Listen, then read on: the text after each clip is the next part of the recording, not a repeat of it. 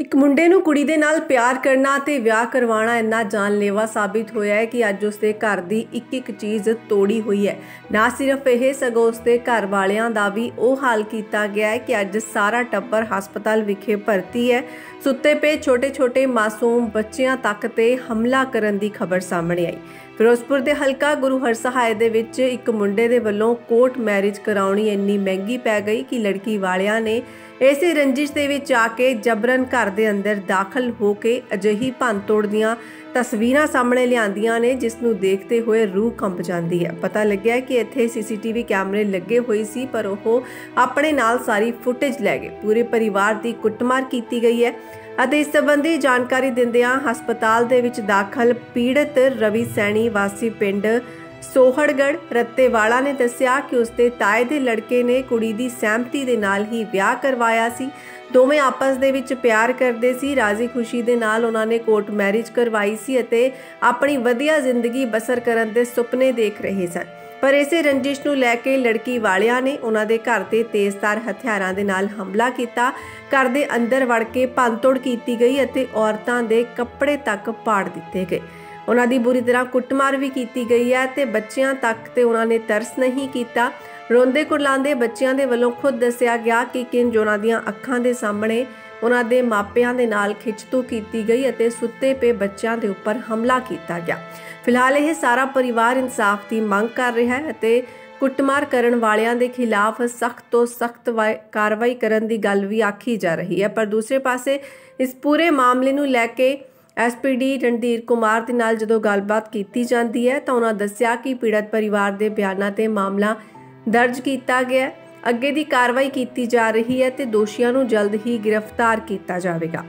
ਜਿਸ ਪਰਿਵਾਰ ਦੇ ਉੱਪਰ ਹਮਲਾ ਕੀਤਾ ਗਿਆ, ਉਹਨਾਂ ਦੱਸਿਆ ਕਿ ਹਮਲਾ ਕਰਨ ਵਾਲਿਆਂ ਦੀ ਗਿਣਤੀ ਬਹੁਤ ਜ਼ਿਆਦਾ ਸੀ। 50 ਤੋਂ 70 ਦੇ ਕਰੀਬ ਬੰਦੇ ਉਹਨਾਂ ਦੇ ਘਰ ਦੇ ਅੰਦਰ ਦਾਖਲ ਹੁੰਦੇ ਨੇ ਅਤੇ ਲਗਾਤਾਰ ਭੰਨਤੋੜ ਕਰਨੀ ਸ਼ੁਰੂ ਕਰ ਦਿੰਦੇ ਨੇ। ਇੰਨਾ ਹੀ ਨਹੀਂ, ਜਿਸ ਮੁੰਡੇ ਨੇ ਕੋਰਟ ਮੈਰਿਜ ਕਰਵਾਈ ਸੀ ਉਸ ਨੂੰ ਟਾਲੀ ਦੇ ਨਾਲ ਬੰਨ ਕੇ ਵੀ ਘੜੀਸਿਆ ਗਿਆ, ਕੁੱਟਿਆ ਗਿਆ, ਇਹ ਸਾਰੀਆਂ ਖਬਰਾਂ ਵੀ ਸਾਹਮਣੇ ਆਈਆਂ। ਫਿਲਹਾਲ ਇਹ ਸਾਰੇ ਇਲਜ਼ਾਮ ਮੁੰਡੇ ਵਾਲਿਆਂ ਦੇ ਵੱਲੋਂ ਲਗਾਏ ਗਏ ਨੇ, ਪਰ ਇਹ ਪੁਖਤਾ ਫੁਟੇਜ ਜਿਹੜੀ ਸਾਹਮਣੇ ਆਈ, ਜਿਸ ਦੇ ਵਿੱਚ ਵੀਡੀਓ ਅਤੇ ਫੋਟੋਆਂ ਦੇ ਰਾਹੀਂ ਦਰਸਾਇਆ ਗਿਆ ਕਿ ਕਿੰਜ ਦੇ ਘਰ ਦੇ ਵਿੱਚ ਪਿਆ ਇੱਕ ਇੱਕ ਸਮਾਨ ਤੋੜ ਦਿੱਤਾ ਗਿਆ ਤੇ ਇੱਧਰ ਭਗਵਾਨ ਜੀ ਮੇਰਾ ਨਾਮ। ਮੁੰਡੇ ਦਾ ਜੋ ਹਾਲ ਕੀਤਾ ਸੋਨਗੜ੍ਹ ਗਿਆ, ਰੱਤੇ ਵਾਲੇ ਦਾ ਰਹਿਣ ਵਾਲਾ ਜੀ ਮੈਂ। ਕੀ ਹੋਇਆ ਜਿਹੜੀ ਸ਼ਰੇਆਮ ਗੁੰਡਾਗਰਦੀ ਤੁਹਾਡੇ ਸ਼ਰੇਆਮ ਗੁੰਡਾਗਰਦੀ ਆ ਉਹ ਇਹ ਜੀ ਮੇਰੇ ਭਤੀਜੇ ਨੇ ਨਾ ਮੈਰਿਜ ਕਰਵਾਈ ਸੀ ਘਰੋਂ ਭੱਜ ਕੇ।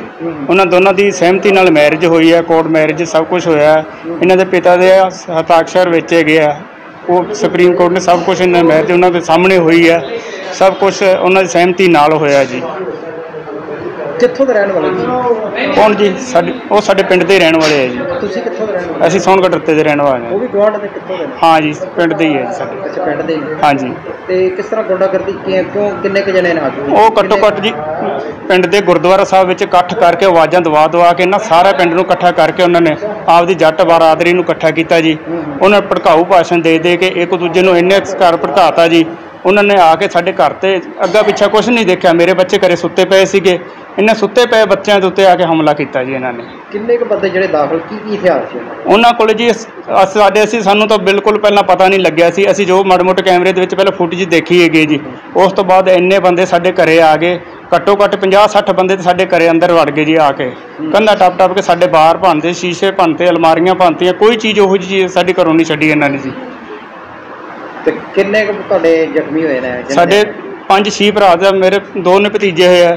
ਮੇਰਾ ਵੱਡਾ ਭਰਾ ਹੋਇਆ ਮੇਰੀ ਭਾਬੀ ਜੀ ਦਾ ਜ਼ਖਮੀ ਹੋਇਆ ਮੇਰੇ ਬੱਚੇ ਆਪ ਖੁਦ ਮੇਰੇ ਘਰ ਦੇ ਹੈਗੇ ਆ ਮੇਰੇ ਦੋ ਪਰਿਵਾਰ- ਨੂੰ ਕੋਈ ਬੰਨ ਕੇ ਕੁੱਟਿਆ? ਹਾਂ ਮੇਰੇ ਭਤੀਜੇ ਨੂੰ ਬੰਨ ਕੇ ਟਰਾਲੀ ਨਾਲ ਕੁੱਟਿਆ ਗਿਆ ਜੀ ਗੁਰਦੁਆਰਾ ਸਾਹਿਬ ਲਿਜਾਇਆ ਗਿਆ ਫਿਰ ਉਹਨਾਂ ਦੇ ਘਰੇ ਲੈ ਕੇ ਗਏ ਗਏ ਆ ਜੀ।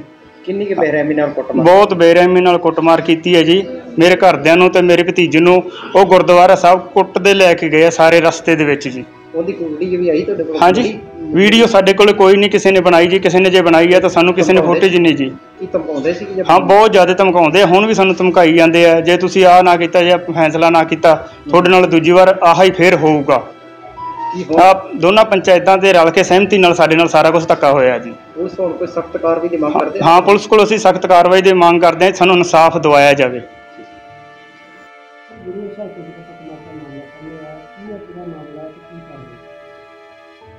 ਇਹ ਜਿਹੜਾ ਮਸਲਾ ਹੈ ਇਹ ਸੋਨਗੜ ਰੱਤੇ ਵਾਲਾ ਪਿੰਡ ਦਾ ਹੈ।